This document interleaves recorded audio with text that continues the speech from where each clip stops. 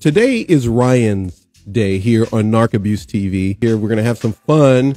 We're gonna have some guy talk, kinda, not exactly. Let's get Ryan in here in a little bit here. Give Uh, your Ryan- opinion on narcissistic parents. A relationship with a narcissistic parent. Give some tips. you know it, it comes down to the way that they're they're communicating with you uh, and a lot of times they learn these behaviors which i'll explain in a second from their grand from their parents. So our you know our grandparents. Okay. and uh, you know it's just become so normalized uh, that it's you know they're very demanding. Uh, you know they, they basically don't really care what your feelings are. Um, and and they're they're running the show. You know they're telling you do this do that. And you know you just you don't really feel much love as a child and uh, it's it's really damaging because you know I mean even school is tough you know going into school. So like you're getting you know basically picked on at school you're getting picked on at home uh, and and it can feel like, very lonely. And and it's hard to know strategy as a little kid on on, on how to deal with it. Uh, th- this is actually how we we get you know people that start people pleasing. We get people that are uh, you know, low self-esteem. Th- These are manifestations of of narcissistic relationships. Um, and uh, you know, the the way there's there's many ways to fix it, but the the biggest thing is the energy behind it. You know, we we start to do these patterns of, like I said, people pleasing. Mhm. Uh, you know, having negative thoughts. You know, oh, I'm not good enough uh, to have a, a healthy relationship. Because Wait, sorry, say that one more time. will they start to sabotage their own life because of the way they were raised? Oh, absolutely, absolutely. It, it's kind of funny because when when you have you know, so when you have that narcissistic person, first off, they're extremely damaged. You know, they've been some through some real shit, some real trauma, intense situations, and they're really they're projecting that energy onto you, and it Right. literally latches onto your body. So you actually start to embody that energy in in, in certain relationships. So you can And, be uh, and and I noticed too in some relationships, I actually became the narcissist. You know, I, I was like, Wow. do this and do that, and and I was you know treating some people like like crap. So, Uh, so believe it or wait, I not, just got to, dude, I got to ask you this then. So check this out. So you became like the parent was to you in the relationship with the person? I did with some women. That's I, I honestly did. I really Wow. did. Now, I know, again, we're going to talk about a number of different things, so I'm just touching on stuff. Everybody, if you want more of this conversation and what more out of it and what can be done, please talk to Ryan. Uh, I'm not the expert here. I'm just, you know, I'm just the greatest showman. I bring, it's like the circus. I bring everybody in. Guy- and guys, Paxton's lying right You now. got- He's already you- had so many interviews. He knows us better than me. No, no, no, no. I learn, I learn something each time. This is the free TV public service channel uh, with coaches and, and other people. Okay, next question. Here we go. We talked about nar- narcissistic parent. Much more could be said. We don't have the time. Yep. So what we're going to do is I'm going to pivot to this. Okay. Yeah, I mean, I, I think I think if they're affecting you a lot still, where when you call them or you talk to them, and, and it still gives you, it triggers you, right? Uh, That, that's I think that's when you know it's still a problem. Uh, you know, at that point, you have the choice to how what is the frequency of the communication that you have with them. Got it. Got it. and, and really setting those boundaries. I mean, I mean that's part of the work and the healing when you're when you're dealing with narcissistic people. It's it's how you treat them with the boundaries, but also if, you still find yourself going back into that narcissistic sibling, that narcissistic parent, or or boyfriend girlfriend, there's still a part of you that actually wants that relationship, that still wants to be Whoa, in that out. troubled Wait, that's energy. A, wait, that's the good Oh, thing. Oh, oh, no, that that's a the big good one. No, yeah, hey, hey, for my for my loyal followers, that's a big one. So what you're saying is there's a part still within us that is possible that they may want you want peace. You want to be able to get along. You want that relationship to have a common ground and work together. But they're being abusive. They're triggering um, things that don't make you feel comfortable. They make you twitch.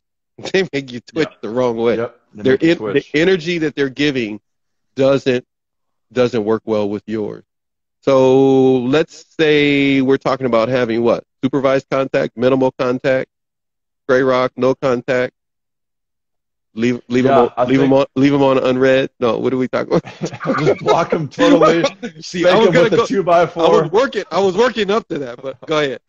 Uh, so we have yeah, to be I, careful. I think it just Yeah, I mean the the thing is, I would say sometimes maybe you just want to no contact for a while, heal yourself a bit, and then come back because is is it, the the degree to which you're unhealed is the degree to which you will continue to be controlled by this person.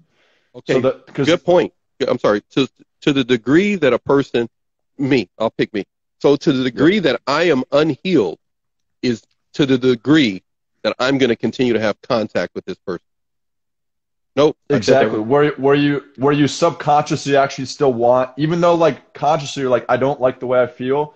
There's a part of you that still wants to be triggered, that still wants to be traumatized by that person. Got it. Got it. So so doing the work on ourselves means that we need to make sure that we're not we're not walking into landmines that we set up for ourselves to be traumatized by Exactly. that person. So we need to literally go do the work on ourselves to make sure that we're feeling the right energy for ourselves and we're thinking the right way. Instead of blaming it on the other person that they're triggering us, maybe we need to be careful not to put ourselves in situations that we can be provoked. Uh, is kind of what I'm understanding that you're saying. Eh, thank, thanks a lot. Exactly. Go ahead. Exactly. Because even if you do, even if you do no con, let's say you do no contact with this sister or with this sibling or with this parent, if if you still don't do that work, uh, which we can talk about what that is later, Right. um, then then you'll still attract another relationship that that's similar to that. I mean, I had that with myself where, you know, I did no contact with the parents. I did no contact with uh, a few other friends that that I thought were toxic relationships. Mhm. And then I go into, you know, I, I used to be a dating coach, and I, I remember getting a, a business partner in that. I literally the same dynamics type of- happened with the same type of person. I was like, and that's when I knew I was like, okay, Yeah. I needed to step back and heal myself here because this is not this is not going well. you end up having the similar person with the similar behavior, thinking that you were doing okay by having no contact with someone else who you thought was going to be bad for you. But lo and behold, bingo, same scenario, different face, different time Exactly. and space, but same, same, same, same effect. Okay, so next one. Here we go. Uh, question: Go. If you had to explain to someone in the simplest way possible, what is narcissism? Yeah, I think it goes back to how do you feel with this person? Do you feel triggered? Do you feel limited? Do you feel stuck? If you're feeling those things, guarantee you a toxic relationship every time. Oh. So always goes back to the way that you feel internally. I mean, the the best relationships you're you're feeling open, expanded. Got You know, you, you feel safe to share, safe to be yourself, and you don't have to filter everything you're doing. Is is it possible though? I'm just going to throw this in. Is it possible that in that relationship it's not all the other person? Maybe I haven't done the work yet, and I'm still triggered from something that maybe that is or is not happening because of a previous relationship. Maybe I'm seeing something that really doesn't exist. I'm just throwing it out there. You, I just trying to get your thoughts on it. Yeah. I think it's both. Yeah, because a relationship is a two-way street, you know? And and we we, we basically and, and as humans we ping off of each other, you know? If I'm true, if we're talking right now, I have good energy, you're gonna feel that energy Oh, we- yeah, because of gotcha. mirror neurons. right. You know, if, if I'm like, Paxton, what are you doing? You should be more professional. You know how Oh, dude, don't even, don't even believe it. Yeah. See now, now you're triggered. Wait, now I'm triggered. Technical difficulties. I'm deliberately low budget. just kidding. Go Yeah. ahead. So, like, Yeah. you no, but I see what you're saying. Go ahead. I like that. and we it could supposed to, we supposed to ping off each other. That's pretty good. That, I like that. Go ahead. Yeah, we're pinging. We're Yeah. pinging back I and forth. that. I like that.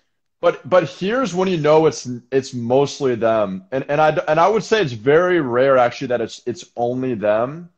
Uh, but here's the scenario which it would be when you give them love, you hug them, you know, give them compliments, you do things that you know they they should like. And they come back with negativity on purpose, deliberately, to bring uh, to bring the relationship down.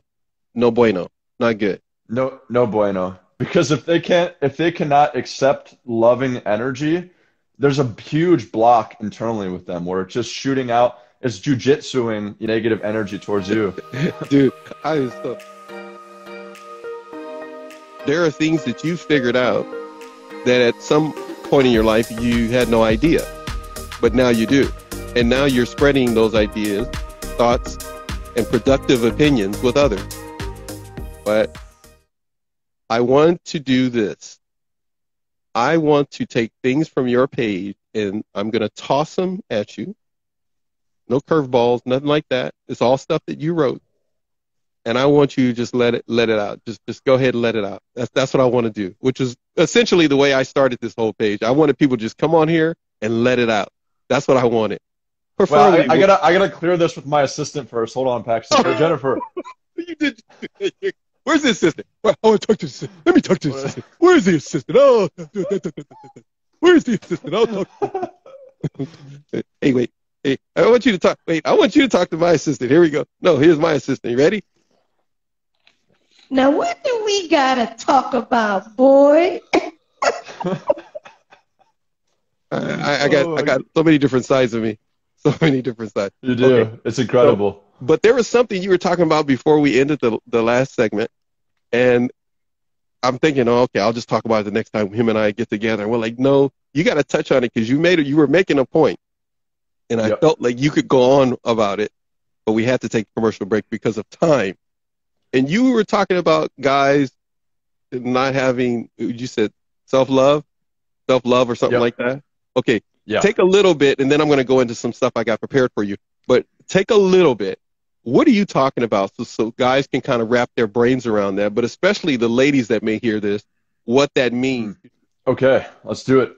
So, well, self love, you know, when, when people talk about self love, it, it's really, I, I see it as a similar thing as confidence. I mean, if you love yourself, you're going to be confident, right? So, um, you know, it goes back to training once again. You know, the way that we're raised by our parents. You know, those are our, biggest teachers, our biggest coaches, especially from ages zero to eighteen.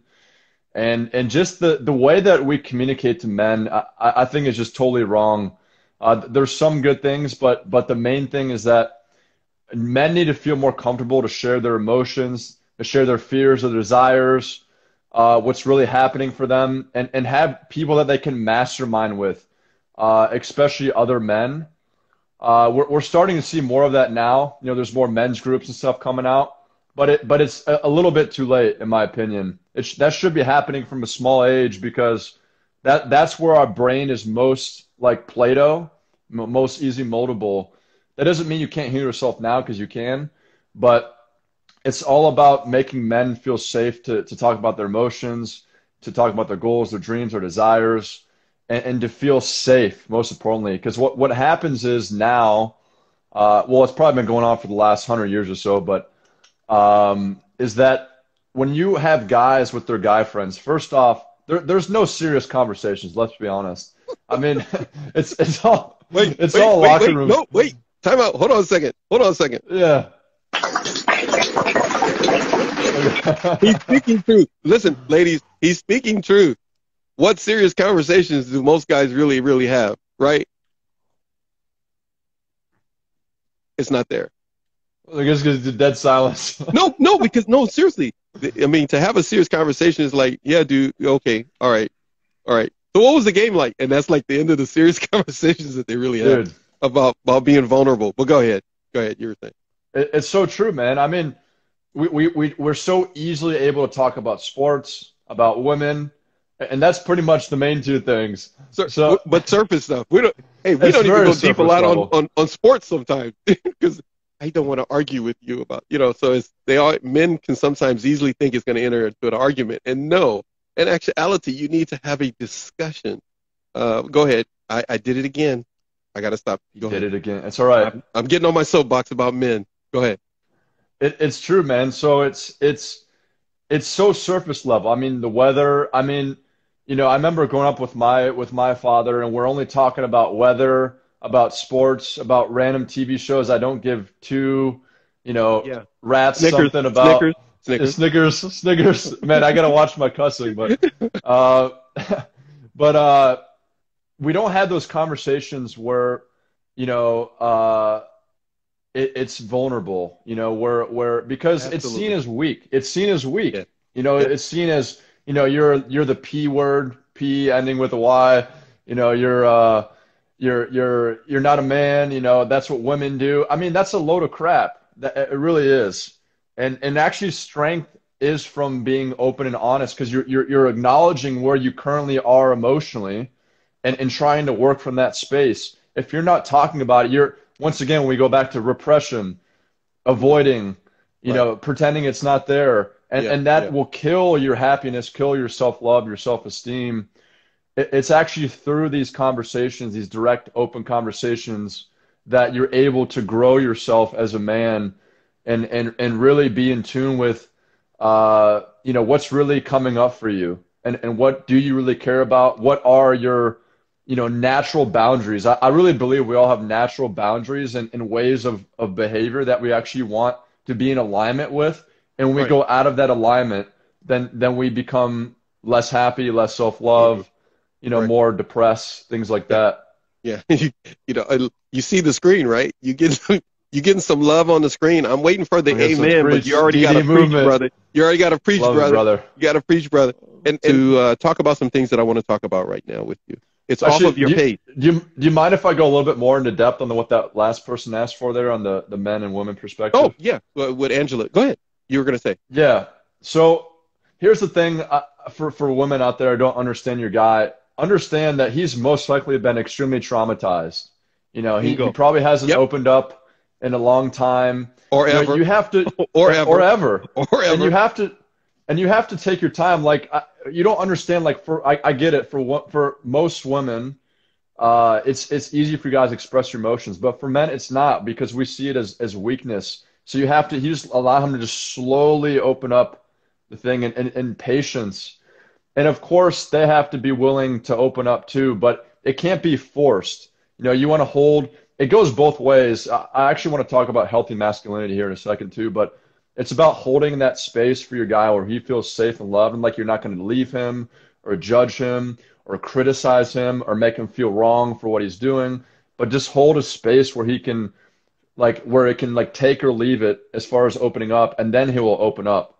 Yeah, but um, uh, I'm going to pull away from uh, this part of the discussion because um, we're going to be, we'd be here we'd be here two more segments because uh, this is uh, this is something I want to do with you is talk about this kind of stuff uh, separate than what we did in the first segment.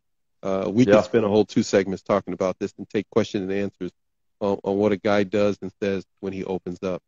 Um, thank you so much for being here. It means a lot. But now the show is going to turn.